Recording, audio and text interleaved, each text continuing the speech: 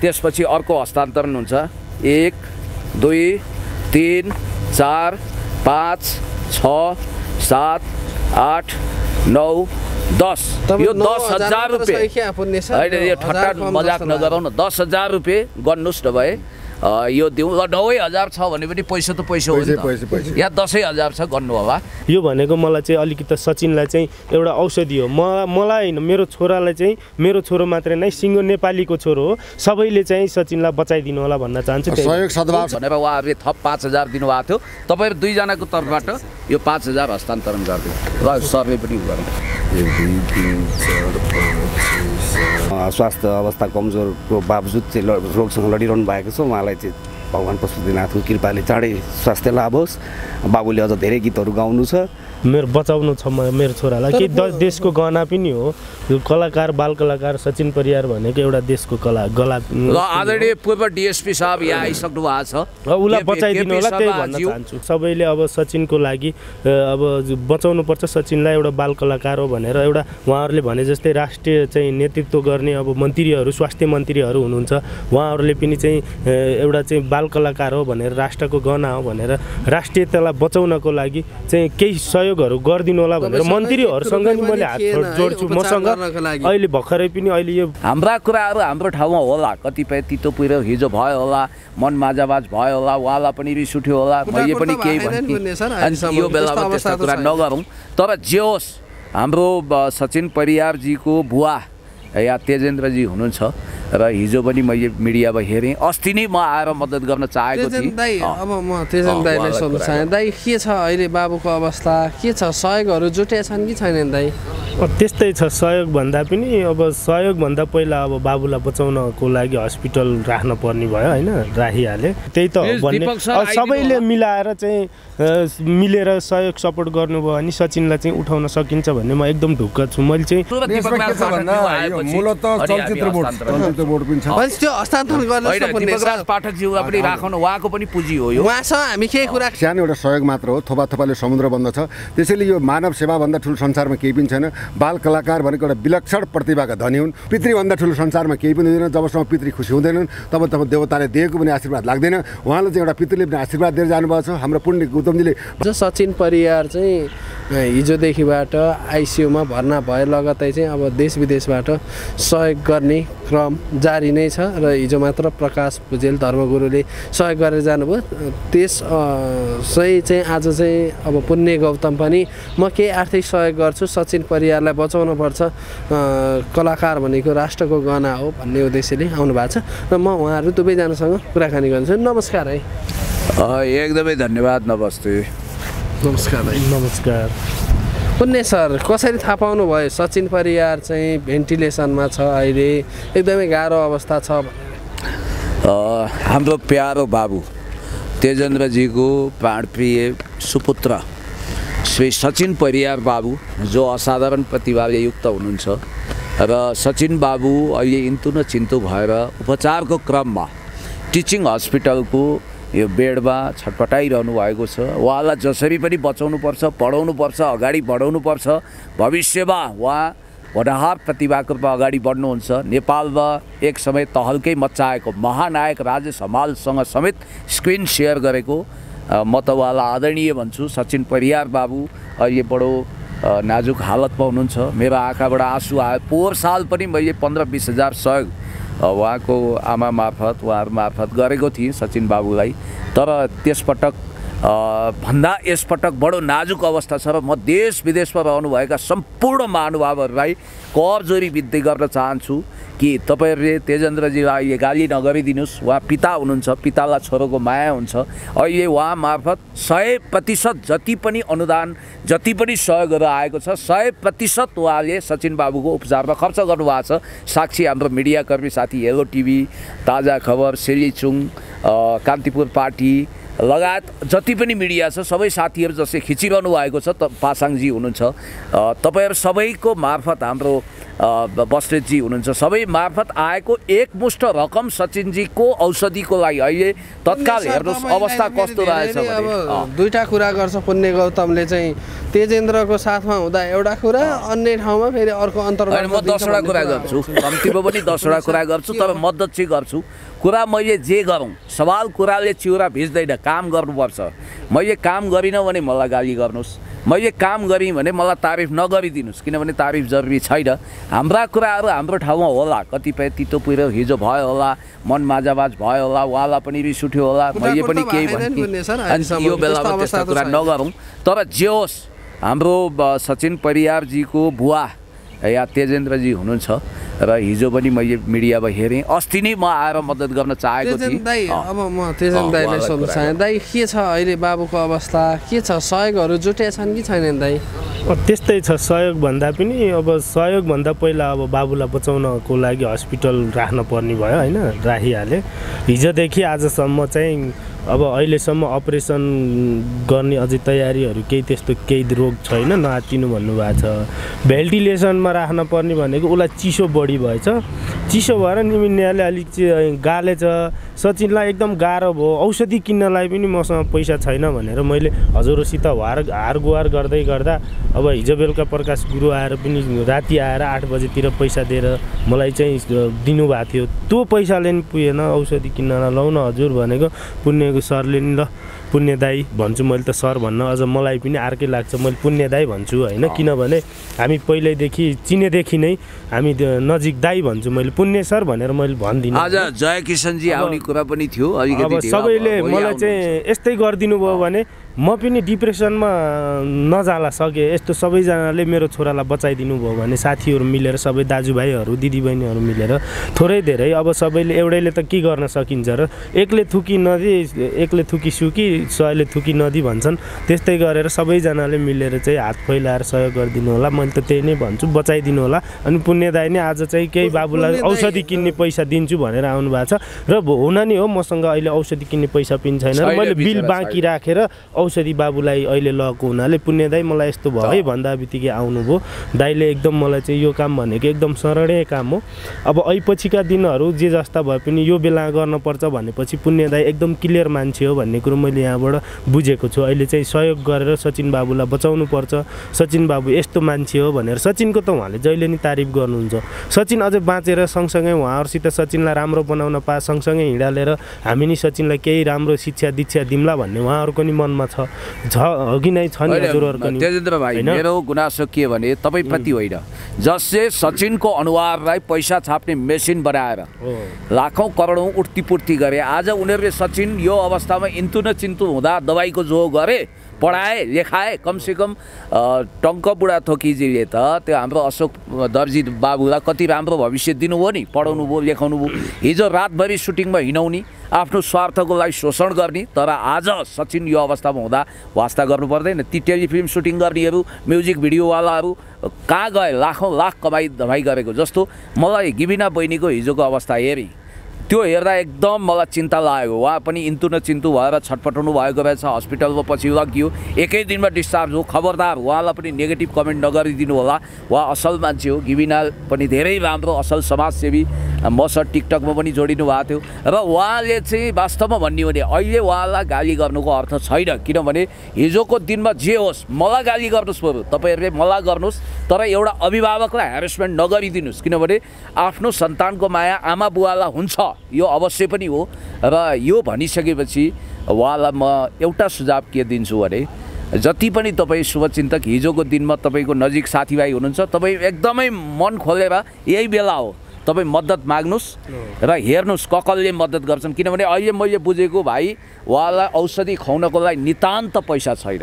र उहाँलाई अहिले मद्दत नगरे कहिले गर्ने? बरु पछि नगर्नुहोस्। अहिले चाहिँ तत्काल गर्नुहोस् ज्यान बचाउनुहोस्। मेरो। मेरो पनि त्यही हो। दाइले जे भन्नुभयो त्यही हो पुण्य दाइले अब मैले त के भन्नु र? अब मलाई चाहिँ गाली गलोज भन्दा पनि मेरो छोराको गर्दाखेरि मलाई गाली गलोज गरेर मैले केही भन्दिनँ कसैलाई नि। सचिनको चाहिँ माया छ भने सचिनलाई चाहिँ सहयोग गरेर मेरो छोरालाई उठाइदिनु होला होइन? मेरो बचाउनु छ म- मेरो छोरालाई। तर कि द- पो- देशको गहना पनि हो।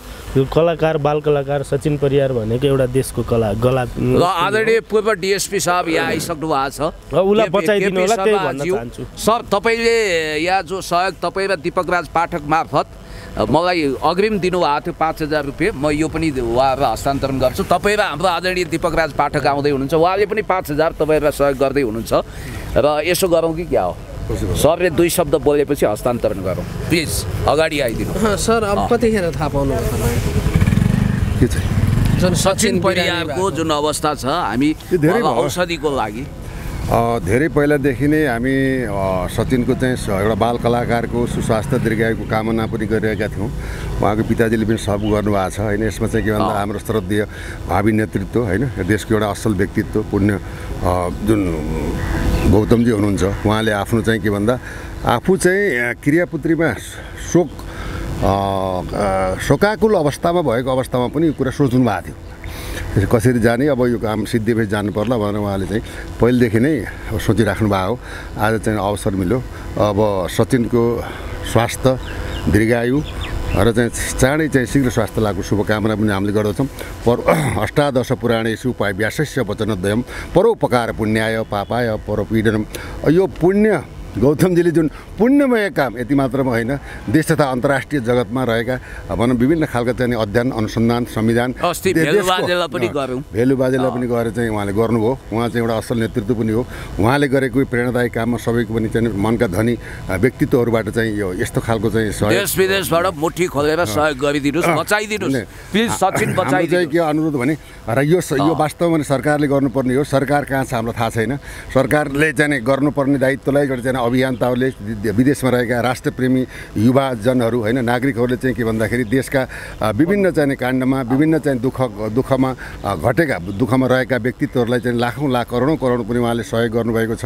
एउटा बा एउटा यो बच्चा भनेको भविष्यको कर्णधार हो।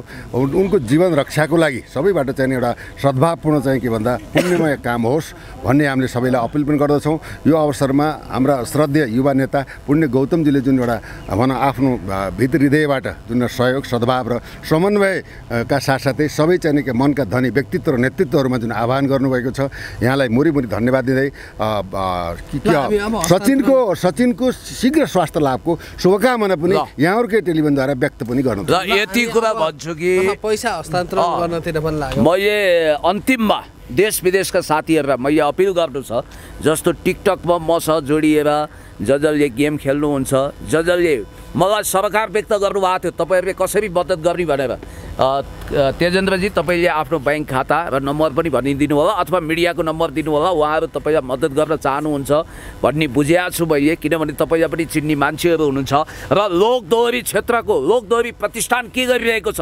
अनि इन्द्रेणी समूहले पनि गरोस् सबैले गरोस् र एक मुष्ट रूपमा सहयोग गरेर सचिनलाई बचाउने पहिलो कर्तव्य हो त्यसपछि पढाउने लेखाउने होइन? जुन सचिनको बुवाले त कमाइ खाने भाँडो बनायो भनेर जुन अन्तर्वार्ताहरू दिँदै आउनु भएको थियो नि होइन विगतको कुरा भुलौँ होइन? किनभने तितो पिरो कुरा गऱ्यो भने राम्रो हुँदैन। किनभने उहाँले पनि मलाई केही भन्नु होला मैले पनि न्युटनको थर्ड ल अफ मोसन भने जस्तो every action has equal but opposite reaction तातो झोकमा भनी होला त्यसलाई अन्यथा लिनु हुँदैन। र कति पनि विलम्ब नगरिकन म मेरो तर्फबाट दस हजार रुपियाँ उहाँलाई र हाम्रो त्यसपछि अर्को हस्तान्तरण हुन्छ। एक दुई तिन चार पाँच छ सात आठ नौ दस। यो दस हजार रुपियाँ? होइन यो ठट्टा मजाक जस्तो नगरौँ न दस हजार रुपियाँ गर्नुहोस् न भए यो दिउँ र नौै हजार छ भने पनि पैसा त पैसा हो यहाँ दसैँ हजार छ गर्नु होला। र यो चाहिँ मलाई आदरणीय डिएसपी साहबले म आउन अलिकति ढिलो हुनसक्छ पुण्यजी तपाईँ अलिक छिटो पुग्नुहुन्छ। मेरो बाइकमा प्रब्लम भयो भनेको हुनाले उहाँ भिडियो बरु उहाँ आउन ढिला भयो भने पनि उहाँको नाउँमा हस्तान्तरण गरिहालौँ भनेर उहाँ र आदरणीय गीतकार दिपक राज पाठकजीको तर्फबाट पाँच हजार रुपियाँ उहाँहरूले हस्तान्तरण गर्नुहुन्छ। यो भनेरै दिनु होला पाँच हजार